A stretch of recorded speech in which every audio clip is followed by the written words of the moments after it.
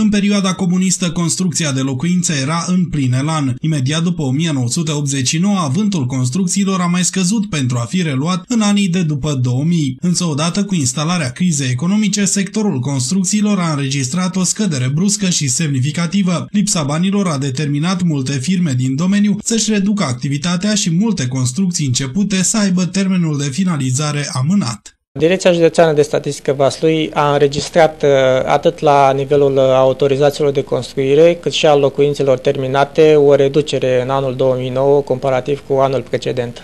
Scăderea numărului de locuințe finalizate în anul 2009 s-a înregistrat atât în mediul rural cât și în mediul urban. Dacă în anul 2008 se înregistrau un număr de 114 locuințe în mediul urban finalizate, în anul 2009 numărul lor s-a redus la 97. O scădere se observă și la numărul de autorizații pentru construite liberate în anul 2009, acestea fiind de 232 față de anul 2008, când numărul lor se ridica la 257. Accentuarea crizei economice în prima decadă anului viitor viitor va determina, spun specialiștii, nașterea unei alte crize, cea a lipsei de locuințe.